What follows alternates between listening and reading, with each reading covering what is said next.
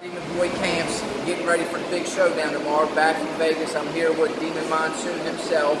Wanted to get a quick interview with him, see how he feels about the fight tomorrow. If he's anticipating anything, anything he wanted to say, give it to his fans. There you are, Mr. You know, I'm back. It's been a month since my car broke down. Got it fixed. Then we went to West Virginia, had some fun. And I'm ready to get back in the yard. I miss Street Beefs. It's like it's my favorite weekend. I'm ready. We're at a new location, got the bell out there. We got bathrooms. We got the crowd. The crowd can get into it more now. And uh, of course, uh, come check us out. Subscribe, Demon Voice Boxing. Subscribe Demon Monsoon Live. And of course, always big shout out to Scarface and Street Beefs. Get at us.